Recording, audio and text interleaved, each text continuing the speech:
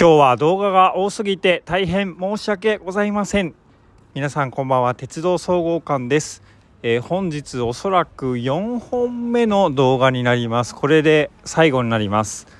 えー、本日南部支線の新型車両新型というか新形式の車両 E127 系新潟のお下がりになりますけれどもその車両の、えー、運転開始日が公式からなんとリークされてしまいました。発表がありましたので皆さんにいち早くお伝えしたいと思いまして、え動画を作らせていただいております。E127 系が営業運転を開始するということはつまりこの205系もそろそろ運転終了となります。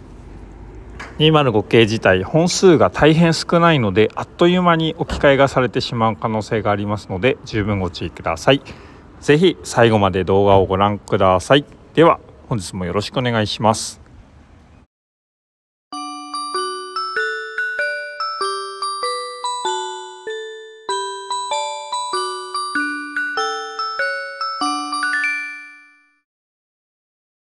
まずは南部支線について簡単にご説明をいたします。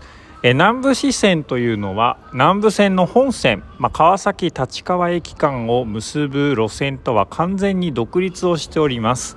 南部支線は知って浜川崎駅間で205系もともと山手線などで走っていた205系をワンマン運転に改造した上で現在走っております。編成数は全部で3本あります。今回 E127 系はもともと新潟地区で走ってた車両です。弥彦線などで活躍しておりましたが、えー、一旦引退した後上越線で、えー、車両不足のため導入され運転がされました、えー、その後完全に引退をしております。まあ、本数がもともと少ないためかちょっと使いづらかったっていうのもあったんだと思います。越後ときめき鉄道にほとんどの車両が譲渡されております。えそんな中 E127 系は今回2本南部支線に転属を予定しております。南部支線に転属しますと、えー、まあ、試運転を行った上で運転開始することと思います。南部線の205系は現在3本あります。3本のうち2本が E127 系で置き換えがされます。じゃあ残り1本どうなるかっていったところなんですけれども可能性のもう一つとしては1本だけ新型車両を入れる。ただこの可能性かなり低いと思います、えー、車両違う車両を入れるっていうのはかなりですね扱いづらくなってしまうのでなかなかやらないんじゃないかなと思います、えー、もう一つの可能性がえー、鶴見線で試運転を行っているあの車両ですね。青い車両、えー、ひばり。あれを運転させるっていう可能性、まあ、これも可能性としてはかなり低いと思います。しばらく試運転を行うので営業運転は厳しいんじゃないかなと思います。一番可能性としてあるのが新潟地区の運用を整理した上で、えー、再度 JR に車両を譲渡して E127 系をもう1本持ってくる。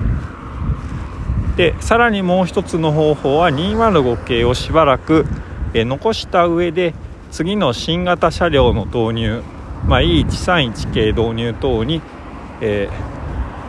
ー、導入まで待つっていう方法、まあ、これも可能性かなり高いんじゃないかなというふうに思っております。えー、何しろ E127 系そんなに長く使うことを想定していないんじゃないかなという感じがしますので多分一時しのぎだと思います皆さんはどうお考えでしょうか？ぜひコメント欄にお寄せください。では本題に入りますが南部支線の E127 系じゃあいつ運転開始するんだっていったところなんですけれども公式で発表されてしまいました。6月5日月曜日南部支線に新しい仲間が加わりますということで公式発表されております。しかも撮影会が予定されております。撮影会は1万5000円になります。ご興味ご関心ある方は是非撮影会に参加してみてはいかがでしょうか。ということで、え205系の2両編成の車両というのはこの南部支線だけになっております、えここ最近運転中の不具合車両故障というのはかなり多発していると情報が入っております。え南部支線というのは短い路線ですので、まあ、ダイヤは簡単に修復できるんで、まあ、予備編成を用いて、え車両交換等すればそんなにダイヤ乱れっていうのが目立たないんですけれども、ま、常磐線とかでそれやってしまうと大変なんですけどね。特急電車に影響したりして、ま数時間ダイヤが乱れるんで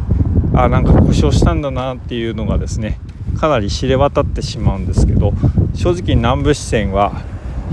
えー、今の時刻に合わせてその遅れた列車を折り返しで折り返すっていう方法がありますのでよく東武野田線がやってるんですけども、まあ、そういう方法を行えばそんなに目立たないんですがただ故障はかなり多いというお話です。なのでもしかしたら今回の E127 系の導入というのはかなり一時的なものの可能性がございます。まあ、とにかく205系はもうそろそろ運転が終了してしまいますので、まあ、お早めにあと1週間程度しか時間がありませんので早めに撮影することをお勧めいたします。一応1本だけは205系残る予定なんですけれどもただ予備編成として残るっていう感じだと思いますので基本は E127 系が2本え運転に入って検査の時だけ205系がたまに入るとかそういう感じになるんじゃないかなと思いますすでに帯の張り替えやワンマン化等も全て E127 系では改造関係が完了しておりますのでもう長野のセンターとかも出てるらしいですね。はい。なのでもうあとは試運転をして問題なければ運転開始という流れになりますのでえー、ぜひ205系の撮影はお早めにお願いいたします。そして6月5日ついに新しい新形式の車両新型ではないですけれども新潟の車両が南部支線にデビューいたしますのでそちらの撮影もぜひご参考にしていただければと思います。はいということで今回は動画の本数多くなってしまいましたがえー、南部支線に、えー、E127 系の営業運転開始日判明いたしましたということで速報で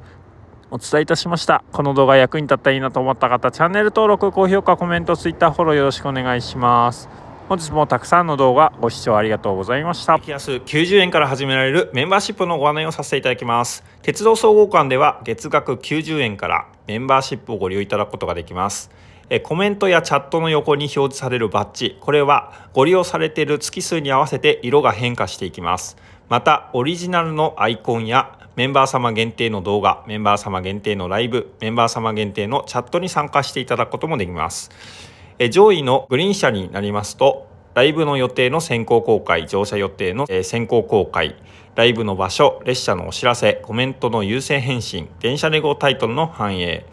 メンバー限定のアンケートそしてグランクラス以上になれば生配信の出演コラボ配信や LINE、Twitter、インスタなどの SNS のフォローのバックの100%お返しプライベートの写真の投稿なども行っておりますぜひご検討くださいご視聴くださいましてありがとうございました Thank you for traveling with us and we look forward to serving you again